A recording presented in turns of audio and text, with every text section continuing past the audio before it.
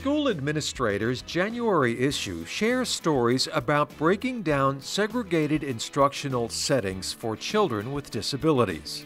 At Pennsylvania's North Penn schools, Jenna Mancini Rufo writes about her district's transformation on inclusion that began in 2014. A major barrier, she points out, had to do with personal beliefs.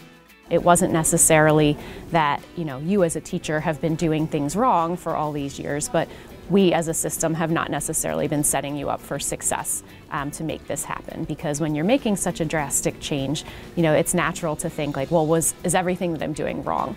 Um, and there were good things and people were doing their best but um, it was time to really uh, make a shift. You know we're all working together According to Rufo, some of the most common challenges schools face during a transition to more inclusive classrooms include lack of financial resources, limited time for staff collaboration, insufficient training, and poor professional development.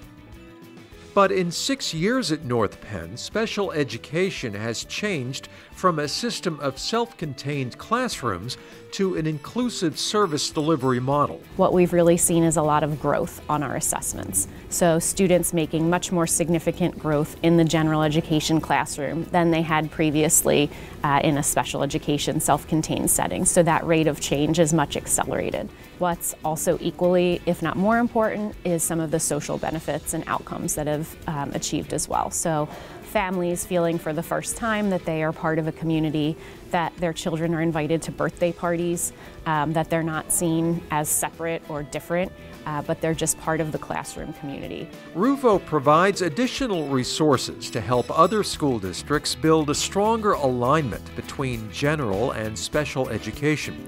To read January's issue of School Administrator, visit the AASA website or join the conversation through social media.